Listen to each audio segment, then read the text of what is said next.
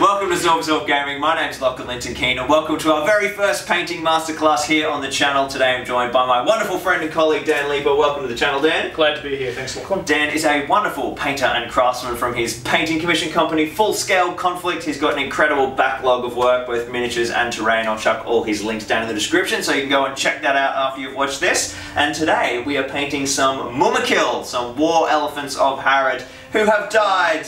They have been felled by some probably quite brave Rohan warriors. These are some gorgeous sculpts done by Adam Brucas from Small Scenics who sent them over to us. Uh, one of them is going to go straight into our Pelennor Fields board and the other two are going to be floating elephants that will be dynamic elements so when elephants die in game we can pop in a corpse which should be very fun. Now we're going to be doing some airbrushing today Dan. Yes. Yes, now this is a world that is completely foreign to me. I've never held one of these fang-dangled things before so for all the viewers at home who are like me and have no idea how this works what's a general overview of airbrushing? Well, basically we use very thin down paint to atomize through air pressure to apply to a model. What that will actually achieve is a graduation of color pigments so that we can create natural blends, which you would spend quite a considerable time with a traditional hand brush doing through glazes with highlighting and then glazing and highlighting. You can achieve relatively quickly and easily with an airbrush. Yeah, cool. Well, obviously we've got three massive elephants here, and we'd love not to take it forever because we have a huge Pelennor Fields board to also paint, so that's going to be really handy. And uh, I guess it, it, also gives us an opportunity to explore some some of these really cool techniques for like the elephant skin tone and, and, and the howdah and that sort of thing. So what's our sort of general overview and approach going to be for these guys? Yep, so we're going for uh, trying to go for as much a natural skin tone as possible. So we've given them a good undercoat of a uh, red brown. Yeah, I just used the uh, Tamiya color, uh, yeah, what is it, the red brown TS1. Uh, I also gave them a wash obviously first and then hit them with a semi-gloss varnish and then once that was cured went down for our brown undercoat. Now why are we working up from brown to get a natural skin tone? Even though an elephant would typically be grey, mm -hmm. we want to create a more natural skin tone and if you look at like pictures of elephants in the wild, you know, underneath it's usually sort of a you know a, a dark reddish grey. Mm. Obviously mm. with the capillaries and that's where blood flow is going. Yeah, cool. Skin changes according to the blood flow, contact with dirt and stuff like that. So what you want to do is create like a natural skin pigmentation and variation. Cool. And airbrushing is extremely good at that. So. I guess one of the great things about uh, airbrushing is that because the layers that you're putting on have such a translucency, it allows the paint that's underneath to kind of affect the, the layer that you're putting on. Is that sort of a correct assumption? Absolutely. Because of the thin nature of the paint shot through the airbrush, you can create natural translucent, translucent blends. So, because the paint's so thin, the undersurface is, you know, your, your undercoat is very important to the color palette that you want to work with. Awesome. So we're working with a scheme of graduated greys then for our skin tone itself? Yes. So once the skin is complete, we're going to move on to the howdah. Again, we're going to try and keep it with the brown, nice muted colors. Mm -hmm, mm -hmm. Now the brown is already you know established for the wood itself, so we're only going to dry brush a bit of a buff. Cool, awesome. That's just it. with traditional dry brushing. Traditional dry, dry brushing. Yep. So again, we'll keep the layers light until mm -hmm. we get to the ends of the wood. Yep. Where it should be more sun bleached, so therefore it should be more of a, a light color. Okay, cool. And with the actual uh, the bindings and the ropes itself, we're just going to use uh, a natural wood grain. Yep. Which gives it that ropey sort of appearance. All right, well that'll tighten up all the kind of timber tones and get that looking really sharp. And then we've still got a little bit of this red fabric that's been kind of left behind as the rest of the howdah is thrown off onto the battlefield. So we'll hit that with some reds. Definitely. So again, we're going to hit it with a nice gory red. Gives it that nice dark red. Yeah, beautiful. And then on top of that, just avoiding the recesses, mm -hmm. we're going to use a bloody red. So that'll give you a nice highlight. Yeah, cool. That sort of nice two-tone. Yes. Lovely. Uh, and of course we have a few wounds as well, which should not be neglected while we're talking about red gore. Mm. Uh, the elephant's got a couple of slashes and big chunks out of his leg, uh, so we'll play uh, with some more red in that area as well. Absolutely. So before the actual blending process begins on the skin itself, right after we've actually done our initial sort of colour highlights, mm -hmm we're going to actually put in some red in the wound areas. Gorgeous. So as the model gets blended using the greys, those areas should still remain reddish or have an irritated skin appearance. Mm, so nice. that once the model is fully complete, wash is finished, uh, a nice matte varnish put over to protect it, we can come back over with a clear color. So like a clear red Right. with a little bit of blue in it to give it that gory appearance. Yeah, cool. Because I mean, like Uh, the sort of basic, most fundamental level of you know, you see miniatures covered in gore at the very end. Someone just chucks on a bit of red, and it, it just sort of looks like red paint on a model. It doesn't really have that kind of blood that's tied into the skin tones of the model. So, kind of working that through the process is that part of what helps tie it in to make it look like real gore. Yeah, so the more attention you apply to something early on will pay dividends much later on at the final stage. Yeah, cool. That's such an important fundamental principle. And then the very last thing, of course, will be our tusks. Yes. which are always really cool. I love the kind of Mumakil tusks you see on the Games Workshop paint jobs where they do that graduated bone and brown coming from, you know, out of the actual tusk joint itself. yeah, it's kind of like teeth. Yeah, yeah. Right, right up at the base, it's going to be a darker color because that's where your blood flow Mm. is, and then as it grows out, it goes white. Cool. So same deal. We're going to actually do like a three-color graduation on the tusk itself. So sort of like an ivory brown in the Mhm. midsection, down to a nice sort of white. Yeah, cool. That real actual- bony white colour. That bony white at Mhm. the end, and we'll probably do a nice light brown up toward the actual mouth. Yeah, into almost the gums in Yeah, a way. Yeah, yeah. fantastic. Then once all the colours are laid down, we're going to actually put down a gloss varnish Cool. Over the whole model. over the whole model. Yeah. And then we're going to give it a uh, an enamel wash with um, probably a grey brown. Cool. Okay. And what that will do is help to bring out all the deep uh, recessed detail that the airbrush will otherwise uh, basically coat. as Yeah, goes over the top. because I guess it's, it's sort of similar to like a rattle can, right? It will just create a sort of even coverage, which is great for blending tones, but Yes. it can sort of obscure recessed detail. So um, the enamel washes kind of really bring that detail out. Yes. Cool. So you can re-establish those lower details using a enamel and oil wash. yeah, cool. And the importance of the gloss, kind of applying that gloss varnish layer before doing that, is that to help kind of flow the, the fluid? Yeah, absolutely. So you want to have a capillary action with the wash itself. So a gloss will actually smooths the surface, allowing the wash to flow naturally through any of the you know the lower layer detail and cracks and crevices and stuff like that. Fantastic. Wow, there's a lot to think about. This is going to look pretty awesome. I'm really excited. Uh, I'm going to get out of your way, Dan, and let you start cracking on with those first skin tones and go and operate our close-up camera so we've got some good action. Good luck. Let's get into it. Sweet as. So you don't have to shake every day. Done. All right, so the first thing we're going to do is use light grey. We're going to thin it down, probably a 2 to 5 ratio of paint to thinner, so that we can start building up the blends. We want the darker areas kept darker, but the high crown areas nice and light, so that the whole blending process fits together well. Uh, you want to. This is the slowest part of the whole thing, so we want to take our time with it, and we don't want to just shoot it in one big hit because it'll ruin the effect. So the first thing we're going to do is create very light blending from the brown up to a grey. So we want to start the graduation so that when we start doing all our layering, it will basically blend together really nicely. So using the light grey from Vallejo Model Air, it was thinned down a fraction to keep it nice and thin so that we can do very short thin bursts so that we can start the actual blending process. So as you can see, a very thin layer is going down first. And a lot of the brown is still showing up, which is perfect for what we're trying to do.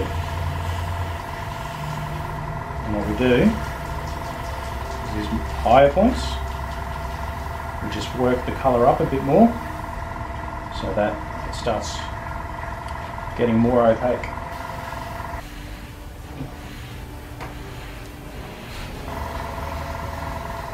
The wound, we're just going to build up a little bit of the grey so that when we start applying a little bit of red in there a bit later, it'll show up much nicer.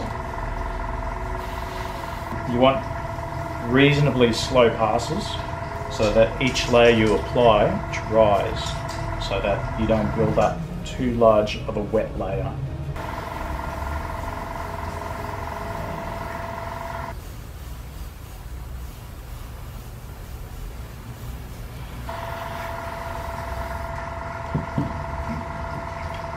First actual layer finished. So with the first layers down to start establishing the blends, uh, we're going to actually add the red to the wound areas. Probably put some into the ear just to give it a bit of a, you know, life to that as well.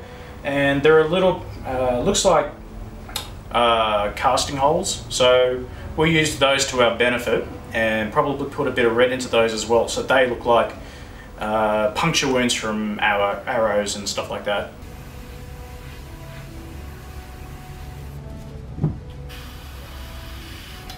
So you want to move fairly slow so that the layers dry before the next layer goes down. Otherwise you'll have an explosion of wet paint that will spider out.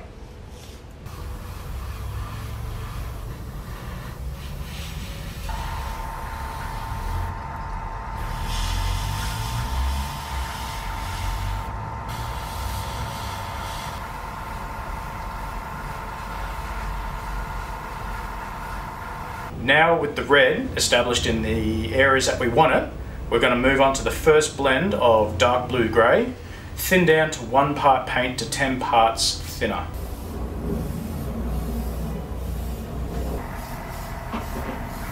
So as you can see, the ultra thin paint is just enough to start tinting the lower grey colour that we've placed. And you can always add another layer on top of that if you feel that that first one hasn't tinted correctly, you can go back over it again and add a little bit more. Now that we've got the first blend of the dark blue grey down, we're going to hit points of interest and start highlighting up with ocean grey. So we're trying to pick out all the raised sections and trying to start building up the layers.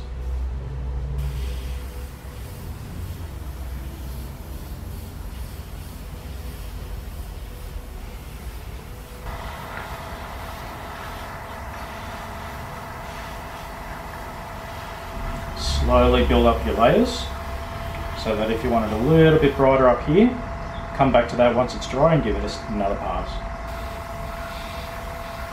So we've got a few raised sections right here, so we're going to hit that. Slow control burst.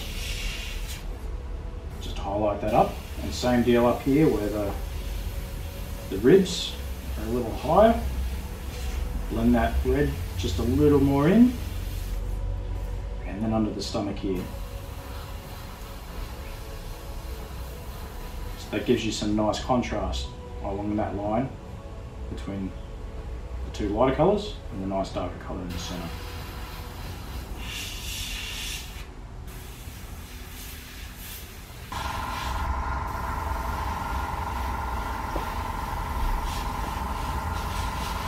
Now that we've started hitting our points of interest with the ocean grey, we want to start accentuating those points with the pale blue grey, which is our final coat.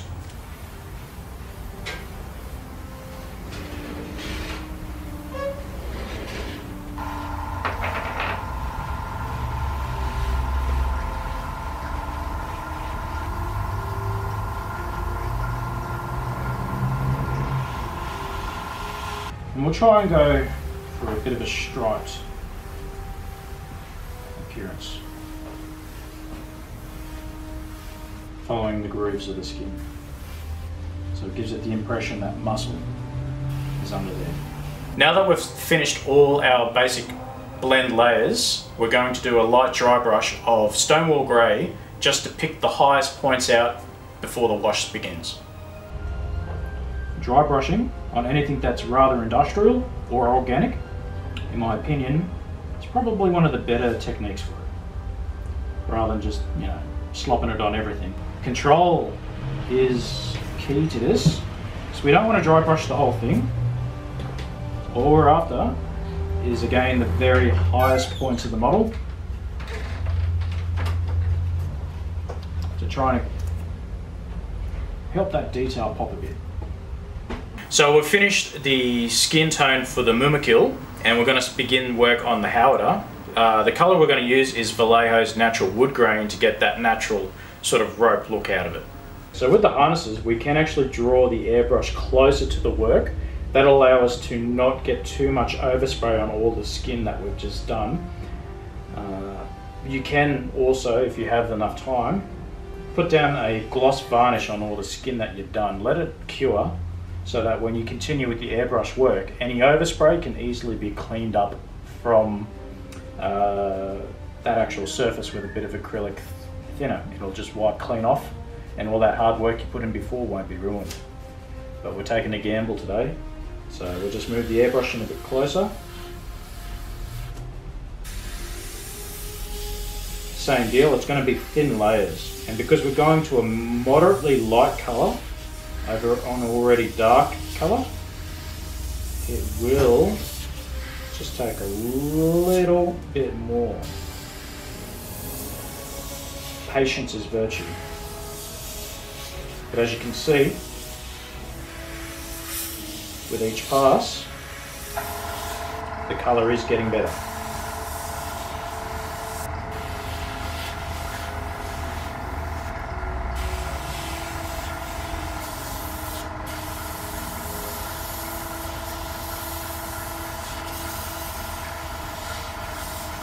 Okay, so now we've done the natural wood grain for the harness of the Howdah. We're going to now do the landing of the Howdah, starting with a mahogany from Vallejo Air. And we're going to actually just give it a light highlight over the top of that with Vallejo's German Camo Medium Brown. So we're going to bring it in a bit close to the model so we get less overspray.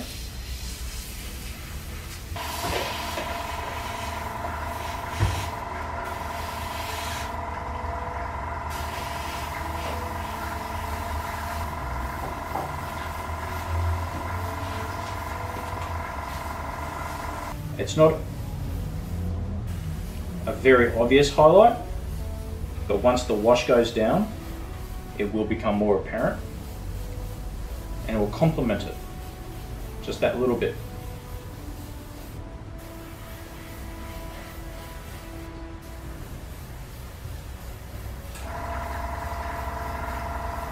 So now that the landing on the Howdah has been complete, we're going to do the actual cloth, which is that nice red colour starting with a gory red as the undercoat and then we're going to use bloody red to give it that nice red highlight. So now we're using the gory red to start the actual cloth around the howitzer. Just a nice coat. The actual bloody red will be the good highlight so we don't have to worry about blending so to speak on this one. Just short controlled bursts, fairly close to the model. So a little overspray with the actual gory red on top of an already, you know, the Howdah being a sort of a, a red leather. It won't matter too much. The enamel wash will hide most of our crimes. So now we're doing the bloody red highlight on the Howdah curtain. Just focusing on all the highlight areas, the highest points I should say.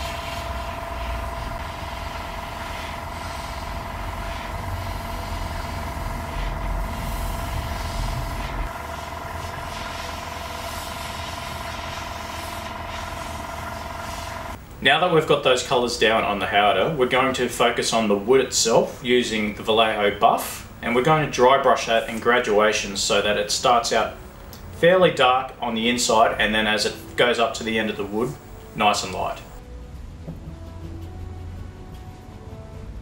It's focusing a lot more on the top where the wood would be more bleached than the wood that would still be underneath all the fabric of the Howdah.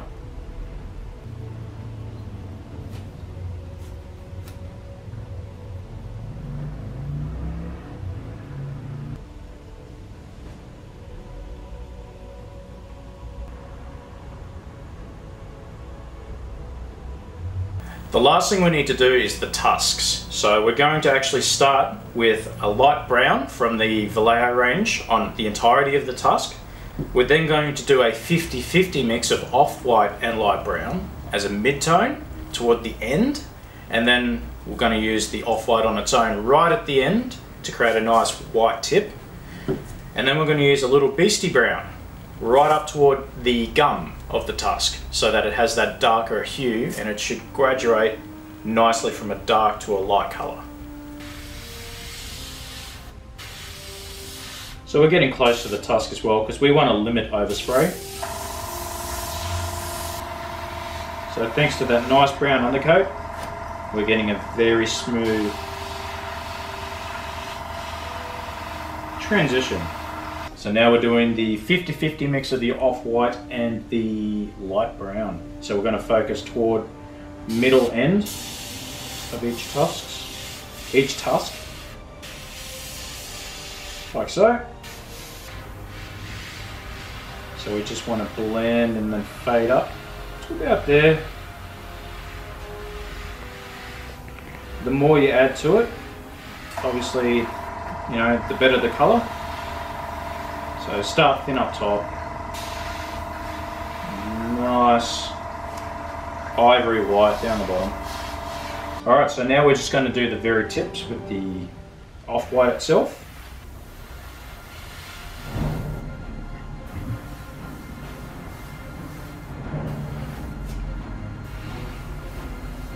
So the very last thing we got is that Beasty Brown, just up around the gums.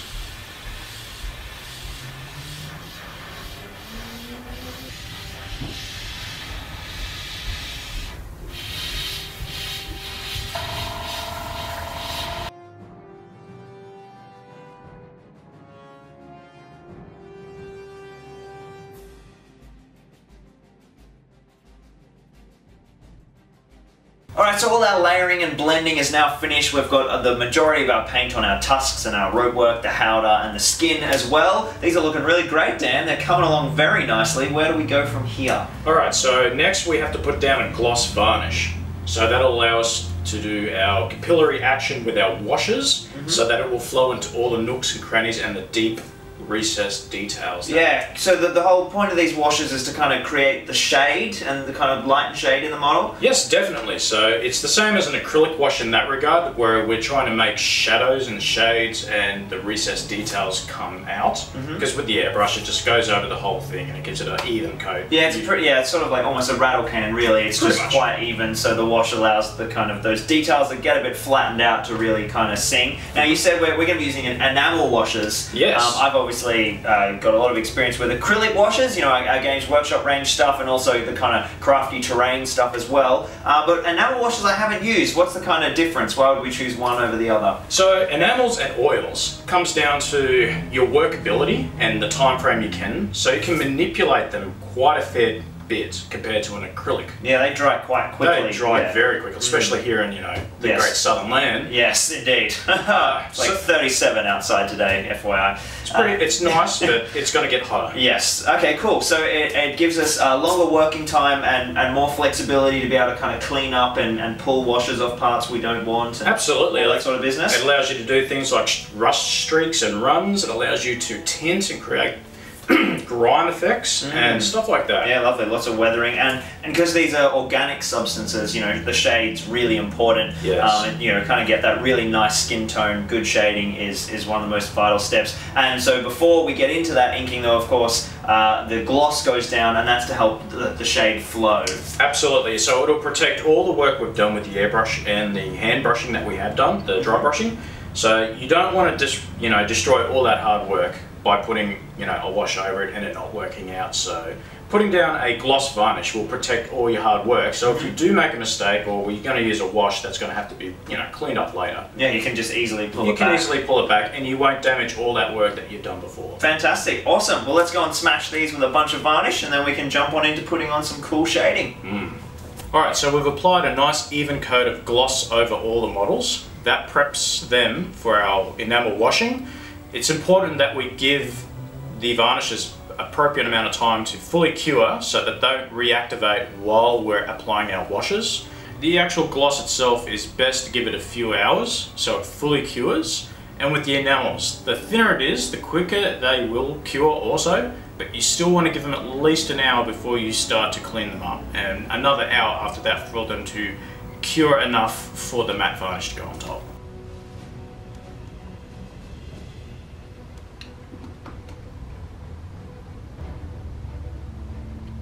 So this is now the enamel wash, and it's going over everything, like so.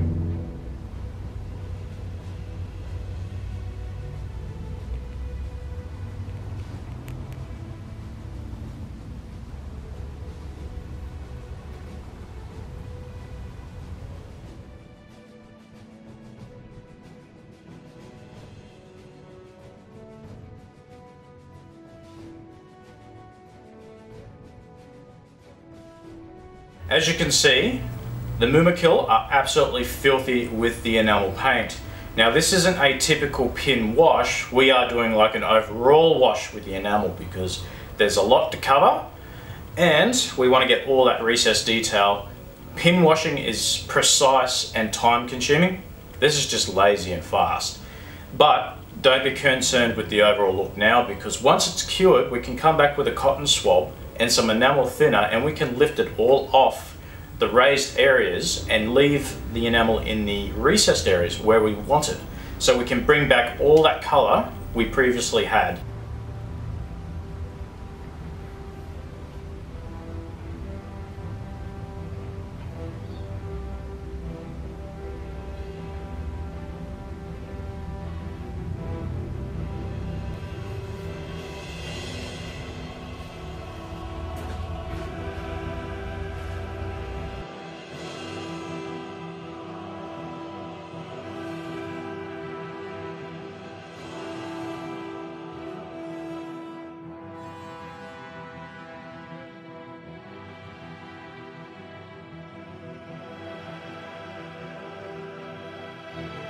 So we've hit the three elephants with a matte varnish and they are now finished looking absolutely fantastic. Well done, Dan. You're welcome. Um, oh, what are we looking at now in terms of uh, time? Look, about six hours? Definitely within six hours. Yeah, that's pretty pretty admirable. They look absolutely fantastic for big three elephants. But of course, that's not including our total sort of waiting time for drying and that sort of No. The downside to using this kind of technique with the varnishes and enamels is the actual uh, drying time with those materials. Yeah, cool. I guess it hasn't been such a huge kind of bother for us because we've been working essentially over two days between these elephants and the Pelennor field, which you guys will have seen or will see in other videos. And uh, and so you know you just got to sort of uh, put it to the side and, and let it happen and not rush it because that's one of the important things, isn't it? If you work with tacky paint, You will ruin it. You have to give things the, its due time. you really Yeah, do. That patience is almost a skill in and of itself. It is. Uh, a big kind of learning curve for me was the uh, the way that we could use varnishes and and I guess early in the middle and at the end of process. I've only ever kind of thought of matte varnishing stuff at the end as a, as a protective layer, Yeah. but bringing those varnishes into the painting process was kind of my probably biggest learning takeaway and being able to use them protect almost like you would do a sub assembly with a miniature. It's like it's you know a sub assembly within the painting scheme. Put a varnish down just to work over the top. Most definitely, that is a uh, skill set that a lot of scale modelers use in order to get those ridiculously realistic appearances out of their model kits. Mm, yeah, all those kind of like rust and weathering effects and, and that sort yeah, of thing. Yeah, definitely. All those blendings and you Mm. know all that craziness that, that can fit into those, well, really awesome kits. Yeah, I suppose we kind of used that again at the end because we came back in after the final matte varnish and applied a little bit of our red to the wounds. Yeah, so we used a little clear red with a bit of blue in it just to darken it down to give those you know wounds some real uh, life to them. Yeah, cool. Whereas the matte varnish, you know, it softened everything and makes everything blend together, and then having that clear put into the wound actually makes it look